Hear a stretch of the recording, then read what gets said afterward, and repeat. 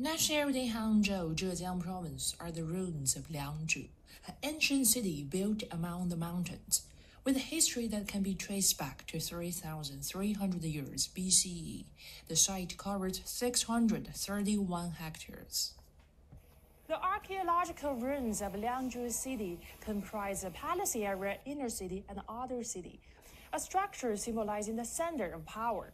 Now I'm standing at the palace area, the core area. It's surrounded by functional zones, for example, storage area, workshops, and a water transportation system. Since excavation started in 1936, generations of Chinese archaeologists and scholars have unlocked more secrets about Liangzhu.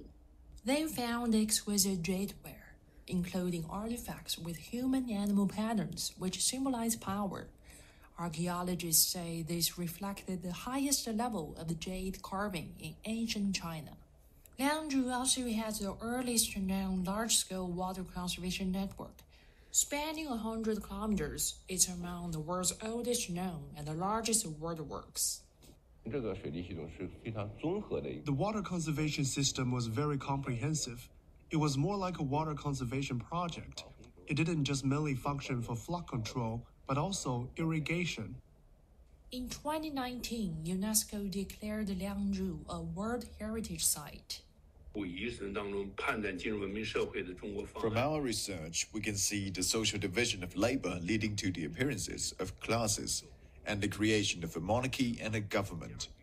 It's all comprehensive evidence that Liangzhu contributed to our modern civilization. The discovery of Liangzhu site helps establish China's 5,000 year civilization.